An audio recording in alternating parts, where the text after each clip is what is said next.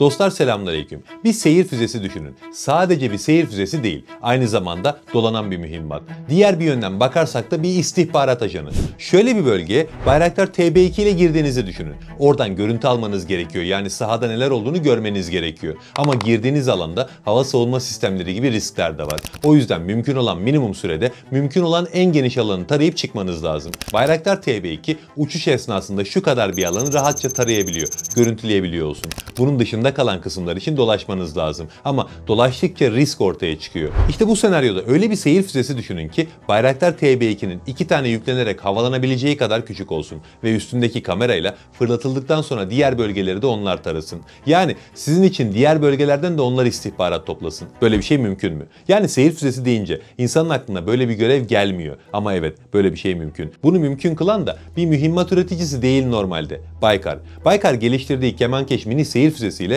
meseleyi bambaşka bir boyuta taşıdı. Geçenlerde bu mühimmatın en önemli test satışlarından biri yapıldı. İşte bu yüzden bugün bu konuyu konuşalım. Kemankeş Türkiye'ye ne katacak? Kemankeş 1 ve 2 arasında ne gibi farklar var? Nasıl oluyor da bir seyir füzesi istihbarat toplamak için kullanılabiliyor? Bugün bunlar gibi birçok soruyu hızlıca cevaplıyoruz.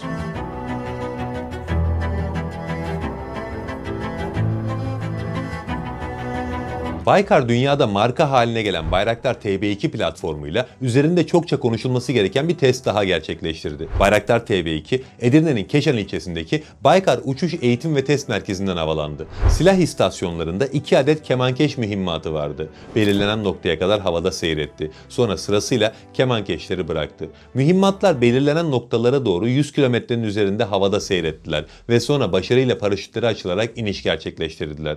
Baykar'ın ürettiği yeni mühimmatın azami uçuş ve dalış testiydi bu. Aslında Baykar'ın yeni mühimmatı demeyelim de ilk mühimmatı diyelim. Çünkü Baykar bu sistemle birlikte mühimmat pazarına ilk defa girmiş oldu. Zaten Baykar'ın ismi konuyu konuşmaya değer hale getiriyor. Ama bir de kemankeş mühimmatının potansiyelini düşündüğünüz zaman bu konu çok daha önemli bir hale geliyor. Öncelikle kemankeş ismi diğer birçok savunma sanayi ürünümüzde olduğu gibi tarihimizden gelen bir isim. Adını Türk İmparatorluk okçuluk geleneğinden alıyor. Tarihte Türk okçuları her zaman meşhurdu ve attıkları hedefe vururlardı. Şimdi onların torunları modern çağın kemankeşleriyle attıkları hedefleri vuracaklar inşallah. Şimdi kemankeş sistemini detaylıca konuşacağız. Ama öncesinde bir soruyu cevaplamakta fayda var. Kemankeş ne tür bir mühimmat? Kemankeş mini seyir füzesi olarak geçiyor. Ama muhtemelen özellikle yabancı kaynaklar bunu dolanan mühimmat olarak gösterecekler. Baykar daha çok mini seyir füzesi dediği için Türkiye'de daha çok bu isim kullanılacak. Peki hangisi doğru? Yani bu bir mini seyir füzesi mi yoksa bir dolanan mühimmat mı? Aslında her ikisi de yanlış değil. Çünkü kemankeş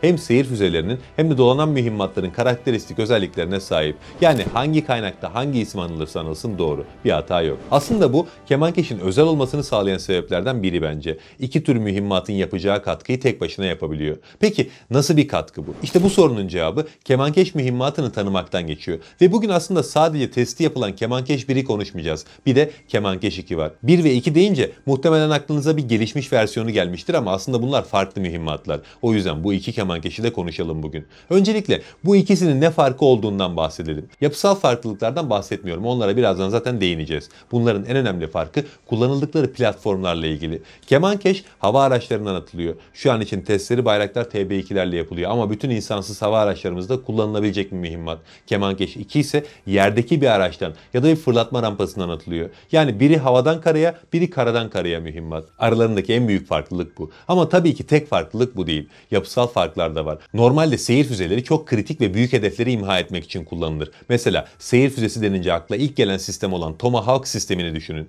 Kullanılması tek başına bir savaşın dengesini değiştirebiliyor. Daha önce Irak Savaşı'nda da Suriye'de de gördük bunu. Aynı şekilde Türkiye'nin geliştirdiği SOM seyir füzesi de tek başına dengeleri alt üst edebilecek potansiyelde. Ama Kemankeş tam olarak öyle bir seyir füzesi değil. Çok daha küçük. Bu elbette Kemankeş'in kıymetsiz olduğunu göstermiyor. Çünkü çok kritik ve hacimli bir hedef olduğunda SOM seyir füzesini daha küçük nokta hedefler olduğunda Kemankeş füzesini ateşleyeceğiz. Zaten artık savaş sahalarında böyle küçük platformlar büyüklerden çok daha fazla kullanılıyor. Çünkü büyükler çok maliyetli. Normal bildiğimiz anlamda seyir füzelerinin birim maliyeti için milyon dolarlardan bahsediliyor. O yüzden onları sadece hava savunma sistemleri, büyük cephanelikler ya da düşman savaş gemileri gibi kritik hedeflere karşı kullanabilirsiniz. Kemankeş gibi daha küçük seyir füzelerini ise çok daha özgürce kullanma imkanınız var. Zaten bu yüzden son zamanlarda bu tarz mühimmatlar daha popüler olmaya başladı. Neyse şimdi daha fazla uzatmayalım uzatmadan özelliklerine biraz değinelim. Kemankeş 40 kilogram ağırlığında. Faydalı yük kapasitesi 5 kilogram. 1 metre 73 santim boyu var. 1 metre 14 santimetre kanat açıklığına sahip.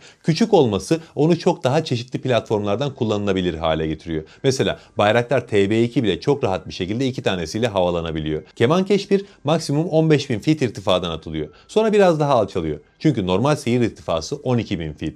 Bir saat havada kalabiliyor ve seyir hızı yaklaşık 300 kilometre. Dalışa geçtiği zaman engellenmesi kolay değil çünkü yaklaşık 750 kilometre hızla dalıyor. 200 kilometrenin üzerinde menzilde hedefini imha edebiliyor. Kemankeş 2 bundan biraz daha büyük. Uzunluğu 2 metre 47 santimetre. Kanat açıklığı 1 metre 35 santimetre. Ağırlığı 70 kilogram ve harp başlığı 22 kilogram. Fırlatıldığında yerli jet motoru devreye giriyor. Önce 20 bin feet irtifaya kadar çıkarıyor onu. Sonra normal irtifasına yani 6000 feet'e iniyor ve seyretmeye başlıyor. Bu da yaklaşık 200 km hızla seyrediyor. Ama dalışa geçtiği zaman hızı yine 750 km civarına çıkıyor. Yani engellenmesi bunun da çok zor. Toplam menzili 180 km ve 70 kilometreye kadar haberleşme imkanı var. Bu da özellikle istihbarat görevleri için çok çok önemli. Bunu zaten birazdan konuşacağız. Niye yerden atılan bir versiyonu var derseniz hava sistemlerinden dolayı filan İHA kullanamadığınız bir ortam olursa karadan bir kamyonet üzerinden bunu fırlatabiliyorsunuz. Çok büyük kolaylık sağlıyor yani.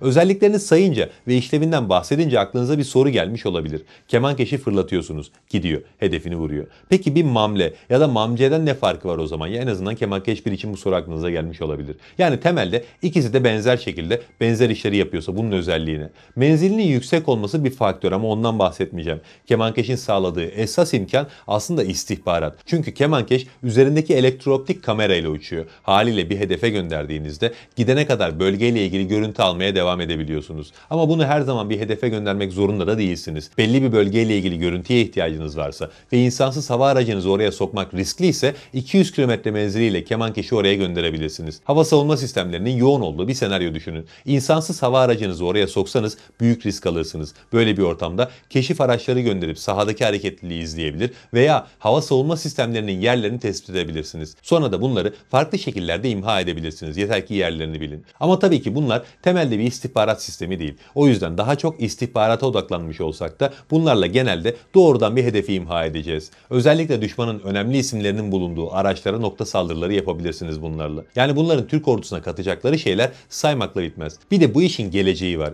Kemankeş mühimmatı dediğiniz zaman aklınıza ilk gelmesi gereken şey makine öğrenimi ve yapay zeka. Bu sistemlerde çok yoğun yapay zeka desteği kullanılıyor. Bu da onlara gittikleri bölgede tehditleri belirleme ve bu tehditler içinde en önemlisini ayırt edip doğrudan ona odaklanma imkanı sağlıyor. Belirlediği hedefi otonom şekilde imha etmeyecek elbette bu sistem. Çünkü yapay zeka şu an için bir noktaya kadar güvenilir. Ama bundan sonra 8-10 sene sonra mesela muhtemelen kemankeşleri düşmanın bulunduğu bölgeye fırlatacak ve gerisini tamamen onlara bırakacağız. Onlar en önemli hedefleri belirleyip doğrudan onları hedef alıp imha edecekler. Yani kısacası bu sistemler Türk ordusuna çağ atlatacak sistemler. Hem bir mühimmat hem de kamerasıyla bir istihbarat unsuru olarak çok büyük katkılar sağlayacaklar.